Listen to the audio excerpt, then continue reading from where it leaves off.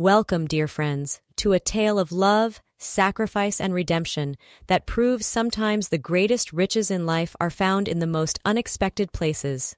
Enjoy the story.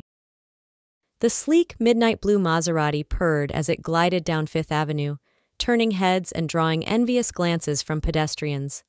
Behind the wheel, Ethan Blackwood III lounged with the casual arrogance of someone who had never known want.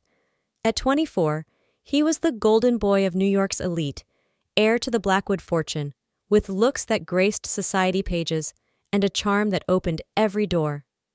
As he cruised past the high end boutiques, Ethan's mind wandered to the charity gala he was supposed to attend that evening. Another night of champagne, fake laughter, and his mother's not so subtle hints about suitable marriage prospects. He sighed, running a hand through his perfectly coiffed hair. Sometimes he wondered if there was more to life than this endless cycle of parties and pretense. Lost in thought, Ethan almost didn't see the blur of movement that suddenly darted into the street. His foot slammed on the brake pedal, tires screeching against asphalt. The Maserati came to a jarring halt, mere inches from a young woman who stood frozen in the crosswalk, eyes wide with shock. For a moment, time seemed to stand still. Ethan stared at the girl through the windshield, his heart pounding. She was nothing like the polished socialites he usually encountered. Her clothes were simple and a bit worn, her hair pulled back in a messy ponytail. But there was something about her, a spark in her eyes perhaps, that made it impossible for him to look away.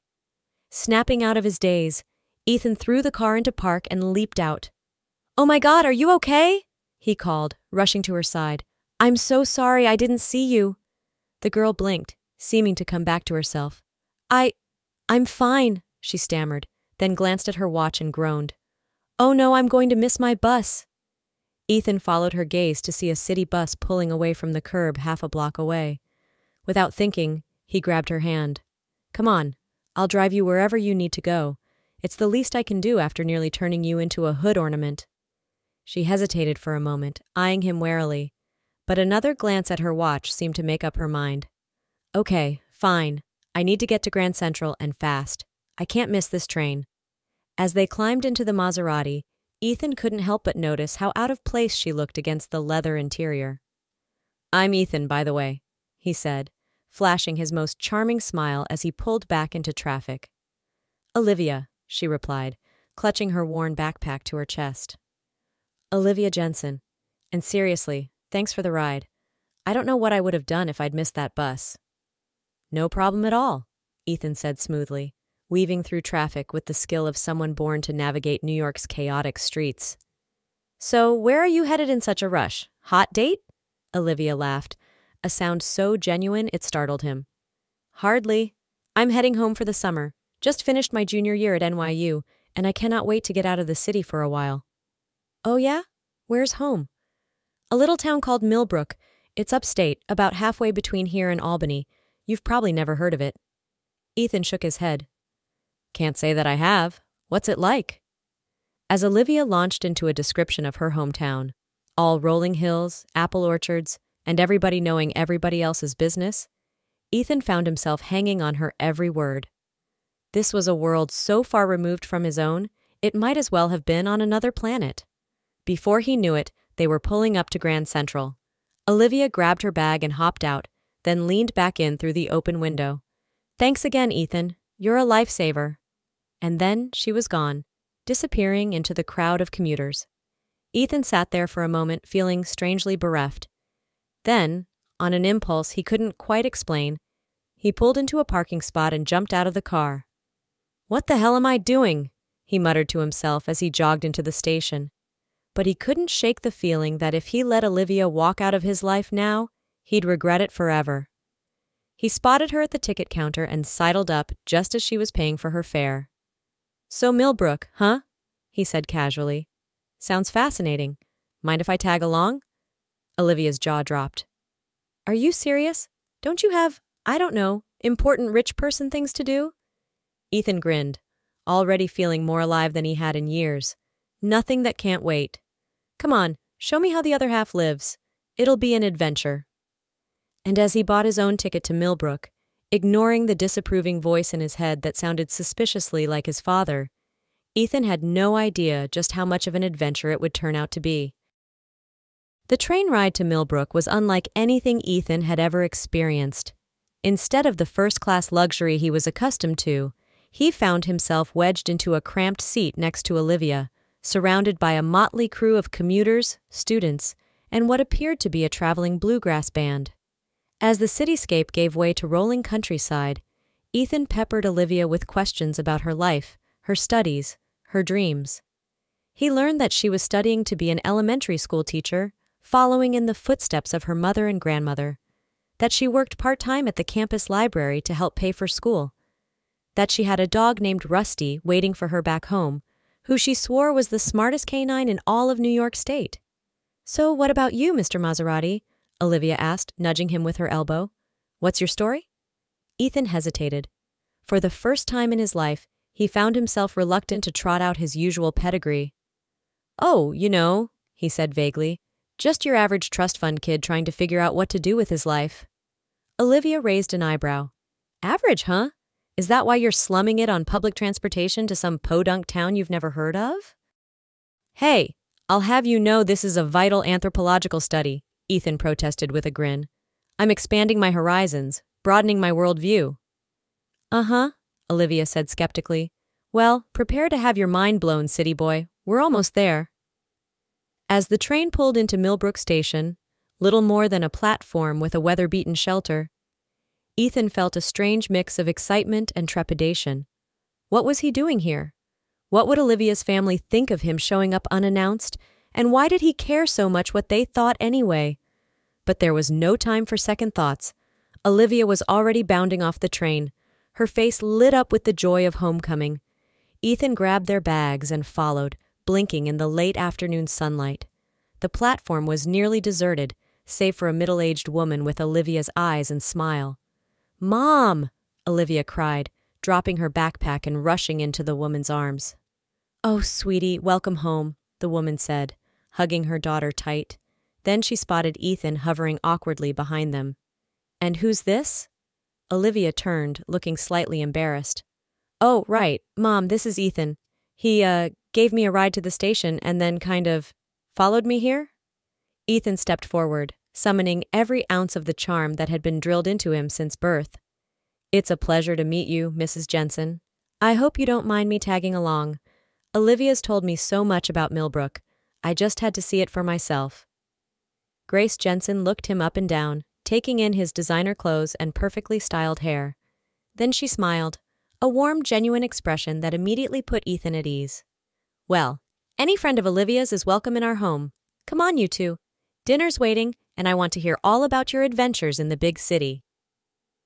As they piled into Grace's battered pickup truck, Ethan found himself wedged between mother and daughter, breathing in the unfamiliar scents of hay and engine grease. The truck rattled down winding country roads, past picturesque farms and orchards heavy with early summer fruit. So, Ethan, Grace said as they turned onto a gravel driveway, what brings a nice boy like you all the way out to our neck of the woods? Ethan opened his mouth, then closed it again. How could he explain the restlessness that had been gnawing at him, the feeling that there had to be more to life than the gilded cage he'd been raised in? How could he tell them that in the few short hours he'd known Olivia, she'd made him feel more alive than he had in years? I guess I just needed a change of scenery, he said finally, and Olivia made Millbrook sound so charming I couldn't resist. Grace nodded sagely. Well, you're in for a treat. It's not much, but it's home. As the truck pulled up in front of a cozy farmhouse, complete with a wraparound porch and a tire swing hanging from an ancient oak tree, Ethan felt a strange sense of homecoming. It was nothing like the mansion he'd grown up in, with its manicured lawns and army of staff. But there was a warmth here, a lived in feeling that tugged at something deep in his chest. Welcome to Casa Jensen, Olivia announced, hopping out of the truck. Hope you're not allergic to dogs because Rusty's probably going to. Her words were cut off by a joyous bark, and suddenly a golden blur was bounding across the yard. Rusty, a shaggy mutt of indeterminate breed, nearly bowled Olivia over in his excitement. Ethan watched, bemused, as Olivia rolled around on the grass with her dog, laughing and cooing as if they'd been separated for years instead of months. It was so different from the stiff, formal greetings he was used to. So real. All right, you two, Grace called from the porch. Wash up and come set the table. Ethan, honey, I hope you like pot roast. As he followed Olivia into the house, Ethan felt a sense of anticipation building in his chest. He had no idea what the next few days would bring, but for the first time in a long time, he was genuinely excited to find out. Little did he know, his impromptu adventure was about to change the course of his life forever. Ethan woke the next morning to the sound of a rooster crowing. For a moment, he was completely disoriented. The bed was narrower and lumpier than he was used to. The ceiling sloped at an odd angle, and sunlight streamed through a small round window he didn't recognize. Then it all came rushing back. The near accident, the train ride, Olivia's warm, welcoming family. He was in the Jensen's attic, on a rickety old camp bed that creaked every time he moved. Ethan stretched, wincing as his back protested. He was used to Egyptian cotton sheets and memory foam mattresses, not this rustic accommodation. And yet, he couldn't remember the last time he'd slept so soundly.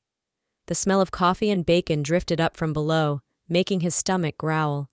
Ethan pulled on his clothes from the day before, wincing slightly at the wrinkles, and made his way downstairs. The kitchen was a hive of activity. Grace stood at the stove, flipping pancakes with practiced ease. Olivia was setting the table, her hair still damp from the shower. And at the center of it all was a man Ethan hadn't met yet. Tall, weathered, with Olivia's eyes and an impressive salt and pepper beard. Well, look who's finally up, the man said, his voice gruff but not unkind. Thought you city boys like to sleep till noon. Ethan felt his face flush. Good morning, sir. I'm Ethan. Thank you so much for letting me stay. The man, who Ethan assumed must be Olivia's father, looked him up and down, then nodded. Frank Jensen, hope you don't mind getting your hands dirty, son. We've got a lot of work to do today. Olivia rolled her eyes. Dad, he's a guest. You can't put him to work on the farm. But Ethan, sensing a challenge, straightened his spine. I'd be happy to help, sir. Just tell me what you need. Frank's mouth twitched in what might have been the ghost of a smile. We'll see about that. Sit down and eat first. Can't work on an empty stomach. As they dug into a breakfast that put any five star brunch to shame, Ethan found himself relaxing into the easy banter of the Jensen family. They talked about neighbors he'd never met, local gossip he couldn't hope to follow, and the myriad tasks that needed doing around the farm. It was a world away from the stilted, formal breakfasts of his childhood, where conversation revolved around stock prices and social engagements. After breakfast, Frank led Ethan out to the barn. All right, city boy, let's see what you're made of. We've got fences that need mending, hay that needs baling, and a tractor that's being temperamental. Where do you want to start? Ethan, who had never so much as changed a tire in his life, felt a moment of panic. But then he caught sight of Olivia watching from the porch, a hint of a challenge in her eyes. He squared his shoulders. How about that tractor, sir? I'm pretty good with engines. Frank raised an eyebrow. That so? All right then, have at it. The next few hours were a blur of grease, sweat, and increasingly creative swear words. Ethan's designer jeans were ruined, his hands were covered in cuts and calluses, and he was pretty sure he'd pulled muscles he didn't even know he had. But as the old tractor finally sputtered to life, he felt a surge of pride unlike anything he'd ever experienced. Well, I'll be damned, Frank said, genuine surprise in his voice. You actually did it. Not bad for a city slicker. Ethan grinned, wiping his forehead with the back of his hand. Thanks, sir. I guess I'm a quick learner. As they walked back to the house for lunch, Olivia fell into step beside him. Color me impressed, she said, bumping his shoulder with hers. I thought for sure Dad was going to send you packing after an hour. Oh, ye of little faith, Ethan teased. I'll have you know I'm a man of many talents. Olivia laughed, a sound that was quickly becoming Ethan's favorite in the world. Is that so? Well, don't get too cocky. We've still got a whole afternoon of chores ahead of us. As they worked side by side for the rest of the day, mending fences, feeding chickens, and even mucking out stalls, Ethan found himself marveling at how natural it all felt. Sure, his muscles were screaming and he probably smelled like a barn, but he felt more alive than he had in years. That night, as they all sat on the porch watching the sun set over the fields, Ethan realized something that both thrilled and terrified him. He didn't want to leave. The thought of going back to his life in the city, with its endless parties and meaningless pursuits, felt hollow compared to the simple, honest work he'd done today. As if reading his mind, Olivia leaned over and whispered, Penny for your thoughts, city boy. Ethan looked at her, really looked at her, taking in the way the setting sun turned her hair to fire and made her eyes sparkle. In that moment, he knew he was in deep trouble. I was just thinking, he said slowly, that I've never felt more out of place, and yet more at home than I do right now. Olivia's smile softened. I know what you mean. It's not much, but it's perfect, Ethan finished for her. Their eyes met, and for a breathless moment, Ethan thought he might just lean in and. All right, you two. Frank's gruff voice broke the spell. Time to turn in. We've got an early start tomorrow. As Ethan climbed the stairs to his attic room that night, his mind was whirling. What was he doing? He had a life waiting for him back in New York responsibilities, expectations. He couldn't just throw it all away for a girl he'd known for two days and a lifestyle he knew nothing about. And yet, as he drifted off to sleep, his dreams were filled with golden fields, the scent of fresh baked bread, and Olivia's laughing eyes. The next few days passed in a blissful blur. Ethan threw himself into farm life with an enthusiasm that surprised everyone, especially himself.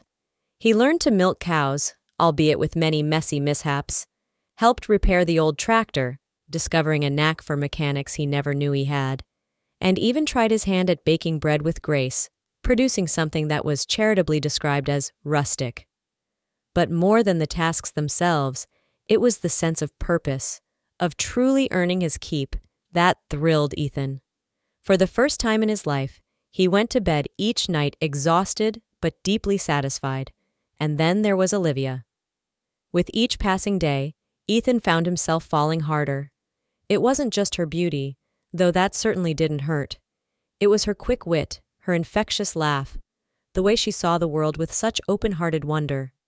She challenged him, pushed him out of his comfort zone, and made him want to be a better man. On the fourth night of his stay, as they sat on the porch swing watching fireflies dance in the gathering dusk, Ethan finally worked up the courage to kiss her. It was soft, sweet, and over far too quickly. But as Olivia smiled up at him, her eyes shining, Ethan knew he never wanted to kiss anyone else ever again. Ethan, she said softly, what are we doing? You have a whole other life waiting for you back in the city. He shook his head. I don't care about that life. This, right here, this is real. You're real. Olivia bit her lip. But your family, your job? They'll understand. Ethan said with more confidence than he felt. And if they don't, well, I'll cross that bridge when I come to it. But reality had a way of asserting itself, whether Ethan wanted it to or not. The next morning, as he was helping Frank repair a fence, his phone, which he'd all but forgotten about, began to buzz incessantly in his pocket. With a sense of dread, Ethan pulled it out to find dozens of missed calls and messages from his parents his assistant, and various business associates. The most recent was a terse text from his father Office, now, no excuses. Ethan's heart sank. He knew he couldn't put off the real world forever, but he'd hoped for just a little more time in this paradise he'd stumbled into. With heavy steps, he made his way back to the farmhouse to break the news to Olivia. She took it better than he'd feared, her eyes sad but understanding. You have to go, she said, it wasn't a question. Ethan nodded. But I'll be back, he promised. This isn't goodbye, Liv. It's just see you later. As Frank drove him to the train station, Ethan's mind was already racing with plans. He'd explain everything to his parents, make them understand. He'd find a way to balance his responsibilities in the city with his new life here. It would work. It had to. But as the train pulled away from Millbrook, Olivia's waving figure growing smaller in the distance, Ethan couldn't shake the feeling that he was leaving a piece of his heart behind. The sleek elevator in Blackwood Tower seemed to take an eternity to reach the top floor. Ethan tugged at his tie, feeling like it was strangling him. After days in worn jeans and work boots, the crisp suit felt alien and restrictive. The doors slid open to reveal his father's executive assistant, a pinched faced woman who had terrified Ethan since childhood. They're waiting for you, she said, her tone making it clear just how much trouble he was in. Ethan squared his shoulders and strode into the massive corner office. His father, William Blackwood II, stood at the floor to ceiling windows, his back to the room. His mother, Sophia, perched on the edge of a leather sofa, her face a mask of worry and disappointment. So, William said without turning around, his voice cold. The prodigal son returns. Ethan winced. Dad, I can explain. Explain? William whirled around, his face flushed with anger. Explain how you disappeared for days without a word? How you missed three crucial board meetings and a dinner with our biggest investors? How you left your mother sick with worry? I'm sorry, Ethan said, meaning it. I should have called. But something came up and. Something came up? Sophia interjected, her voice quavering. Darling, what could possibly be more important than your family, your future? Ethan took a deep breath. I met someone, he said. Her name is Olivia, and she's. She's amazing, Mom. She showed me a whole different way of life, one that's simple and honest and. Oh, spare me, William scoffed. Don't tell me you've fallen for some country bumpkin sob story. What is it this time? Let me guess, her family farm is in trouble and only your money can save it? It's not like that, Ethan protested, his temper flaring. Olivia doesn't care about money. She doesn't even know who we are. She's smart and kind and hardworking. Enough! William slammed his hand on the desk. I don't care if she's Mother Teresa. You have responsibilities, Ethan, a legacy to uphold. I didn't build this empire from nothing just to watch you throw it all away on some. some summer fling. Ethan clenched his fists, struggling to keep his voice level. It's not a fling, Dad. I love her. A heavy silence fell over the room. Sophia let out a small gasp. William's face went from red to purple. Love! he spat. You've known this girl for what, a week? Don't be ridiculous. You know nothing about love or responsibility or what it takes to make it in the real world? Maybe I don't, Ethan shot back. But I'm learning. And I know that what I feel for Olivia is more real than anything I've ever experienced in this. this gilded cage. William's eyes narrowed dangerously. I see, well, if that's how you feel, you have a choice to make. You can either grow up, accept your place in this family and this company, and forget about this little adventure of yours, or you can walk out that door and never come back. But know this if you choose her, you choose to give up everything your trust fund, your position, your inheritance, all of it.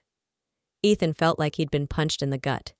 He looked to his mother, hoping for some support, but she just shook her head sadly.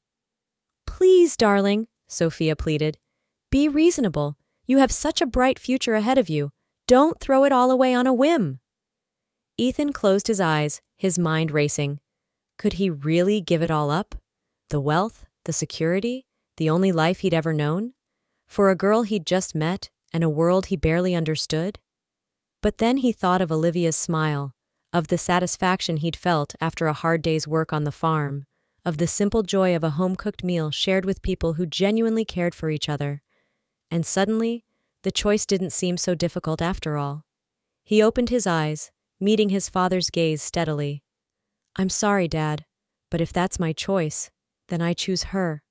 I choose a life that means something. William's face hardened. Then you're no son of mine. Get out. Ethan nodded, a strange sense of calm washing over him. He turned to leave, then paused at the door. I do love you both, he said softly. I hope someday you'll understand. And with that, he walked out of Blackwood Tower and into an uncertain future. The train ride back to Millbrook felt both endless and far too short. Ethan's mind raced with doubts and fears. What if Olivia thought he was crazy for giving everything up? What if he couldn't hack it as a real farmhand? What if his father was right and this was all just a naive fantasy. But as the familiar landscape of rolling hills and orchards came into view, Ethan felt a sense of peace settle over him. Whatever challenges lay ahead, he knew in his heart he'd made the right choice. He hadn't told Olivia he was coming back. Part of him worried she might try to talk him out of it if she knew what he'd done.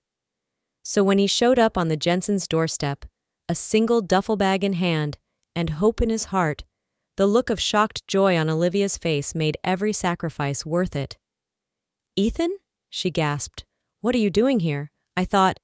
He cut her off with a kiss, pouring all his love and certainty into it.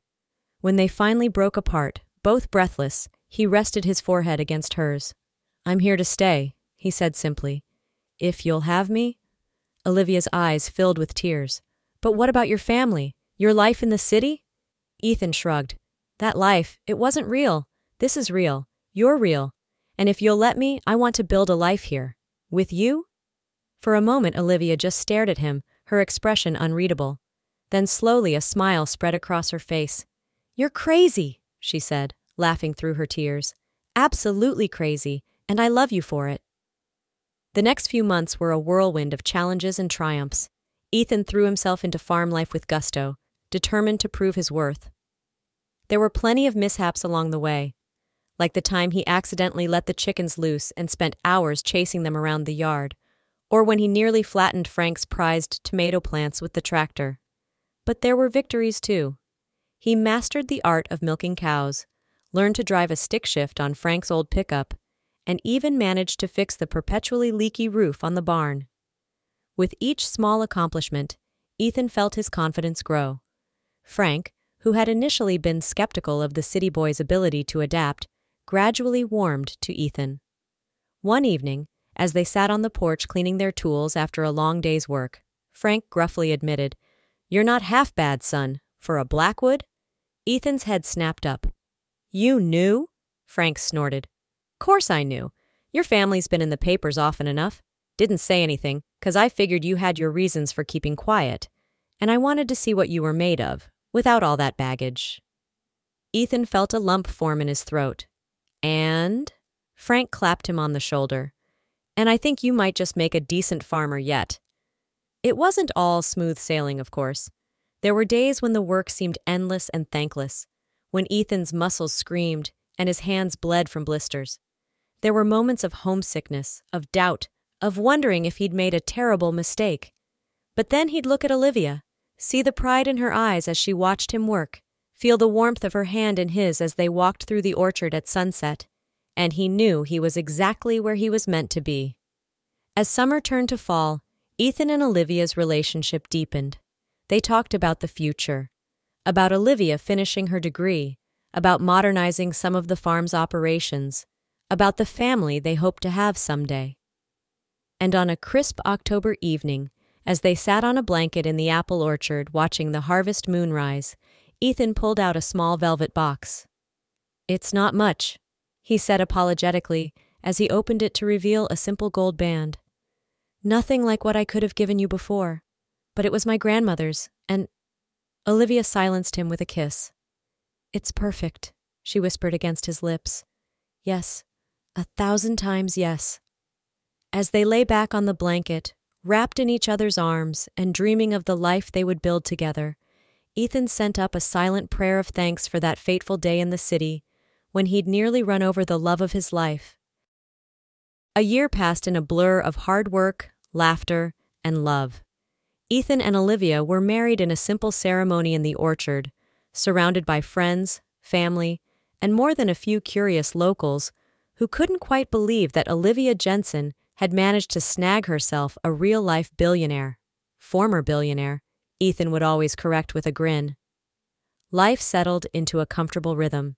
Ethan threw himself into learning every aspect of running the farm, while Olivia finished her degree online and started teaching at the local elementary school. They were happy, truly happy, in a way Ethan had never thought possible. But there was always a lingering sadness, a shadow on their joy. Ethan had tried reaching out to his parents several times, sending letters and leaving voicemails that were met with stony silence. He missed them, missed the relationship they'd once had, before money and expectations had poisoned everything. So when Ethan spotted a sleek black town car pulling up the dusty driveway one crisp autumn afternoon, His heart leapt into his throat. He'd know that car anywhere. It was his father's. Olivia came to stand beside him on the porch, slipping her hand into his. You okay? she asked softly. Ethan squeezed her hand. I guess we're about to find out. William and Sophia Blackwood emerged from the car, looking like fish out of water. William's immaculate suit was a far cry from the worn jeans and flannel shirts that were the uniform around these parts. Sophia teetered on impractical heels, looking around with wide, uncertain eyes. For a long moment, nobody moved. Then Ethan cleared his throat. Mom, Dad, this is unexpected. William's face was a mask of discomfort. Yes, well, we were in the area for a business meeting and thought, that is, your mother insisted. Sophia stepped forward, her eyes brimming with tears. Oh, Ethan, my boy, we've missed you so much. And just like that, the dam broke. Ethan found himself engulfed in his mother's embrace breathing in the familiar scent of her perfume. Over her shoulder, he saw his father awkwardly extend a hand to Olivia. You must be the young lady who stole our son's heart, William said stiffly. I'm William Blackwood. This is my wife, Sophia. Olivia, bless her, took it all in stride. It's wonderful to finally meet you both, she said warmly. Won't you come inside? I just put on a fresh pot of coffee. As they settled around the kitchen table, William looking comically out of place in his tailored suit. An awkward silence fell. Ethan could see his father taking in the modest surroundings, the worn but clean furniture, the vase of wildflowers Olivia had picked that morning. Finally, William cleared his throat. Son, I. We. That is to say. What your father is trying to say, Sophia interjected gently, is that we're sorry. We were wrong to try to force you into a life you didn't want. We were so focused on our own expectations that we couldn't see how unhappy you were? Ethan felt a lump form in his throat. Mom, Dad, I. Let me finish, William said, his voice gruff with emotion. Son, when you left, I was angry, furious even. I thought you were throwing your life away on some foolish whim. But then. He paused, seeming to gather his thoughts. Then I started seeing the changes in the company, the employees you'd worked with, they missed you. They talked about how you always treated them with respect, how you saw them as people, not just cogs in a machine. Ethan blinked in surprise. He'd never thought his father paid attention to such things. William continued, It made me realize that maybe, just maybe, you understood something about life and business that I'd forgotten along the way. And then we started hearing rumors about you, about how you'd thrown yourself into this new life how you were working harder than you ever had before, how you were happy. I am happy, Dad, Ethan said softly. Happier than I've ever been. Olivia squeezed his hand under the table, and Ethan felt a rush of love for her. Sophia leaned forward, her eyes shining. We can see that, darling, and that's why we're here. To tell you that we understand now, and to ask if you'll have us back in your life. Ethan felt tears prick at his eyes. He looked at Olivia, who nodded encouragingly. Of course, he said, his voice thick with emotion. Of course I want you in my life. Both of you. The tension in the room dissipated like morning mist. Suddenly, everyone was talking at once. Sophia wanted to know all about the wedding she'd missed, while William peppered Ethan with questions about the farm's operations. Olivia, bless her, fielded it all with grace and humor.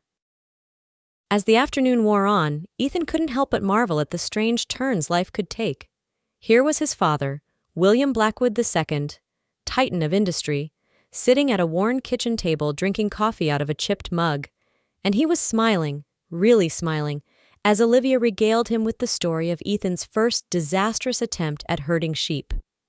When it came time for his parents to leave, Ethan walked them to their car. William paused before getting in, turning to his son with an uncharacteristically hesitant expression. Ethan, he said, I know I can't undo the hurt I caused, but I want you to know I'm proud of you, son. You've built a good life here, a real life. Ethan felt his throat tighten. Thanks, Dad, he managed. That, that means a lot. As the town car disappeared down the dusty road, Ethan felt Olivia's arms wrap around him from behind. You okay? she asked softly. He turned in her embrace, pulling her close. Yeah, he said, surprised to find he really meant it. Yeah, I think I am.